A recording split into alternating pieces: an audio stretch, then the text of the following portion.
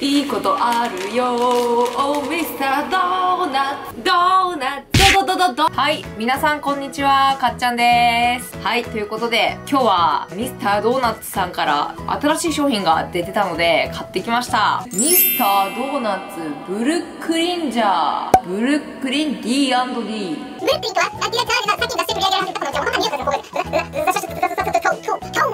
クリン。なんかちょっと面白い商品がまだ新しく出たので今日はこちらを使って食べてみたいと思いますかこのブルックリンジャーとドーナツ2個セットで980円っていうセット価格と単品が780円で売ってました。うおー。ブルックリンジャーなんか要はこういうあれですね。中に何でも入れれる感じのこうドリンク入れてもいいしこうサラダとかシリアルとか入れてもいいような感じの容器になってます。ストローを刺す時用のこういう蓋もついてます。えー、なんかおしゃれだね。この容器を持ってね毎回ミスドに行くとこう30円引きにしてくれるみたいです。はいじゃあここでちょっと新たからバナナミルク。うえー。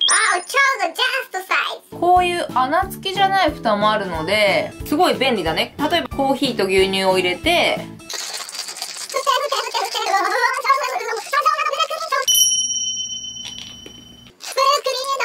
バナナと牛乳入れてバナナミルクジュースを作りました。で、この蓋を取って、蓋を付け替えれば出来上がり。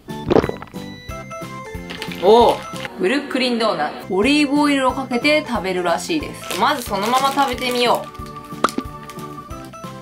う。うん。デニッシュ生地のような感じのドーナツ。なんかちょっとこうデニッシュみたいにこう周りがサクサクしてて、中が結構バターが入ってる感じ。すごい美味しいです。じゃあオリーブオイルをかけてみよう。もこみちんなんか、え、オリーブオイルって感じなんですけど、すごいオリーブオイルこのドーナツにあって美味しいです。キャラメルナッツ。4種類味は出てましたうんこれ美味しいな。なんかドーナツっていうよりパンっていう感じがしますね。なんかパン食べてるみたいな感じです。ということでこれもすごい便利だしこの新しいドーナツもすごい美味しかったです。ごちそうさまでした。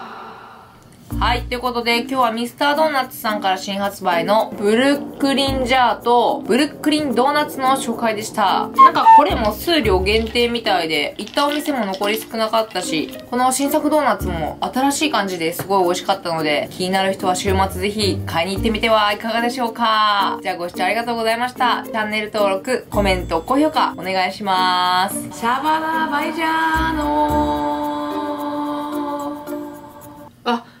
これカロリー317もある1個。